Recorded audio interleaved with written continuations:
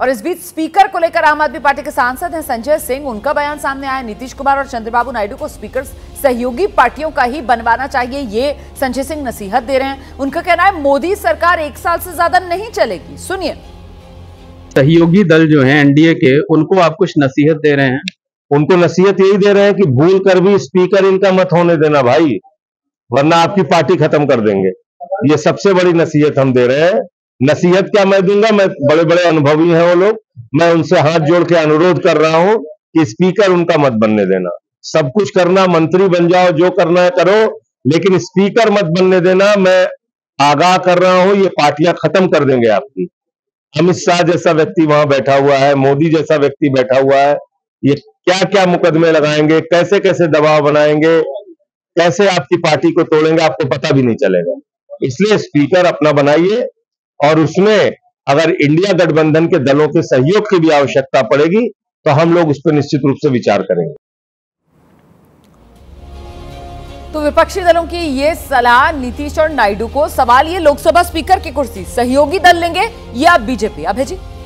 देखिए अतीत में जो अटल बिहारी वाजपेयी की सरकार थी उसमें जीएमसी बाल योगी को लोकसभा अध्यक्ष बनाया गया था जो कि तेलुगु देशम पार्टी के थे। तो ऐसा पहले हो चुका है और उस नज़ीर का फ़ायदा उठाकर चंद्रबाबू नायडू ये दबाव पैदा कर सकते हैं कि बनाया जाए उसको। लेकिन कोई ज़रूरी नहीं कि उनकी ये बात मानी जाए। मैं ये मैं संजय जी जो कह रहे थे वो ठीक है वो अपने अपनी राजनीति की वजह से ही कह रहे थे। मेरा मानना यह है कि अगर भारतीय जनता पार्टी अपने सहयोगी दलों को तोड़ते हुए दिखी या ऐसा कोई भी अंदेशा हुआ तो ये पूरी सरकार ही उसमें खतरे में पड़ जाएगी। फिर ये सरकार नहीं चल पाएगी। हम्म। यार मान लीजिए उन्होंने आप कल्पना कीजिए उन्होंने पंद्रह तेलुगु देशम के तोड़ लिए। जो तेरह उनके हैं जनता दल यूनाइटेड के हैं, वो उन्होंने तोड़ लिए। तो इसके बाद भारतीय जनता पार्टी की साख वगैरह सब कुछ खत्म हो जाएगा और इससे भविष्य में जाके देखिए बिहार में आपने तोड़फोड़ की, कोई लाभ नहीं हुआ आपको। आपने महाराष्ट्र में तोड़फोड़ की, महाराष्ट्र बहुत बड़ा गड्ढा साबित हुआ। तो इस प्रकार की जो तोड़फोड़ होती है, वो कभी भी आपको दूरगामी फ़ायदा नहीं देती और कभी कभी अल्पकालीन फ़ायदा भी नहीं देती। ठीक, विजय सर? जिस चीज़ का उदाहरण अभय जी दे रहे हैं वही उदाहरण जो है ना वो सभा के भारतीय जनता पार्टी के लिए कि जब महाराष्ट्र। नहीं नहीं टीडीपी के जब स्पीकर बनाए गए थे जीएमसी बालयोगी और उसी वजह से वो सरकार गिर गई थी एक वोट से।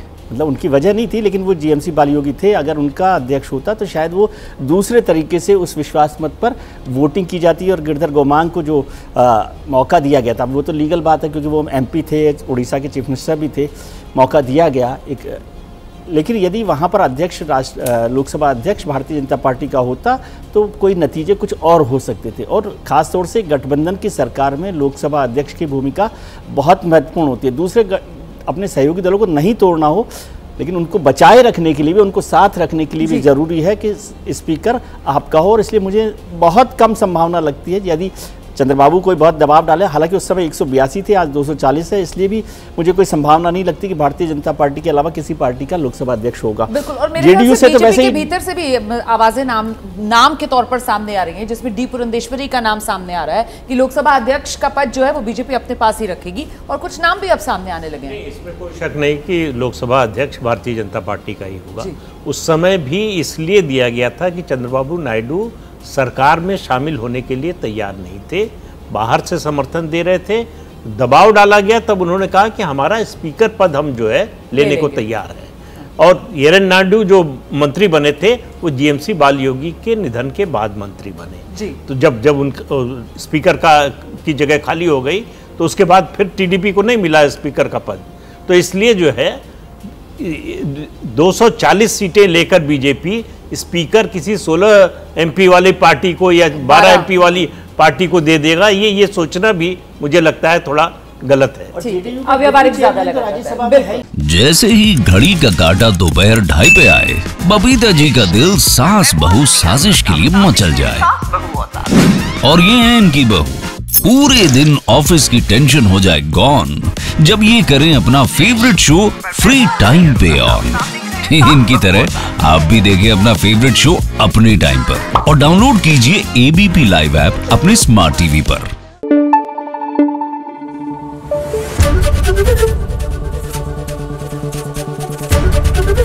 एबीपी न्यूज़ आपको रखे आगे।